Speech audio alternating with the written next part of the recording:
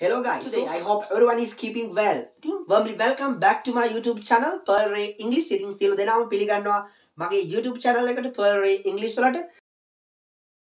Today also I have brought new video.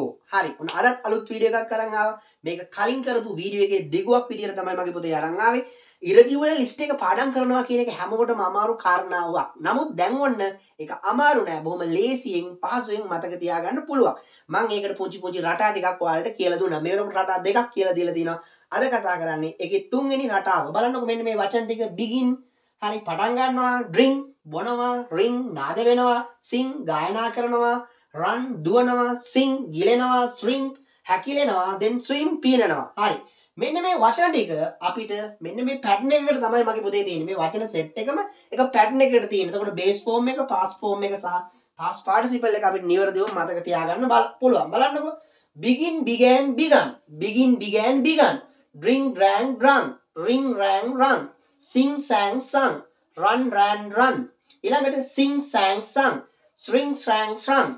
Swim swam swam. බලන්නකො මේක බැලුවට පස්සේ ඔයාලට පේනවා පුංචි රටාවක් තියෙනවා. මෙන්න මෙතන තිබුණ මැද තිබුණ අකුර වෙනුවට past form එකේ ඒ අකුර තමයි ආවේ. begin එකේ තිබුණ i එක ඒ වුණා. drink එකේ තිබුණ i එක ඒ වුණා. ඒ විදිහට තමයි අනිත් ඒවා හැදිලා තියෙන්නේ. බලන්නකො මේ form එක past participle එකේ මගේ පුතේ past form එකට ඒ ආවා. මේ form එකට අපි ගත්තේ u එක. බලන්න begin began begun begun u තමයි ඇවිල්ලා තියෙන්නේ. drink drank drunk u අකුර. Ring rang run. U අකුර. Then sing sang sung. Run ran run. U අකුර. Sing sang sung. U අකුර. String sprang sprung u අකුර. Then swim swam swam. හරි. එහෙනම් ඔන්න මේකෙදි ඒ අකුර එකතු කරලා past form එක හැදුවා past participle එක අපි u අකුර එකතු කරලා හැදුවා. මෙන්න මේ රටාව ඔයාලා මතක තියාගත්තොත් ඔයාලටත් පුළුවන් ඉතාමත් පහසුවෙන් මේ වචන සෙට් එක මේ ඉරදිවල වචන සෙට් එක මතක තියාගන්න. So ඉතින් i hope